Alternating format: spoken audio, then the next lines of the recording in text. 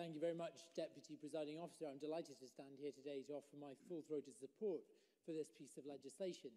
When I was out losing elections as an aspirant Liberal Democrat candidate, I was often asked at hustings and party meetings, as I'm sure each of you were, if you make it to Parliament, what would be your private member's bill? It's a hypothetical question, but I always gave the same answer. And Deputy Presiding Officer, this bill was my answer.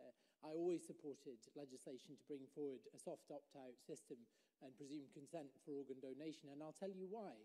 When I was 14 years old, I met a guy called Anders Gibson. Anders was uh, 12 at the time, and uh, he and I soon became friends, and I was told uh, by adults around Anders that I had to be prepared for the fact that he might not see 20, and that was because Anders had um, CF, cystic fibrosis. Um, however, uh, happily enough, Anders rode the wave of medical advancement and uh, benefited from new treatments which emerged in his late teens, um, and he went on to become a fierce campaigner for cystic fibrosis uh, issues an ardent footballer and a brilliant stand-up comic.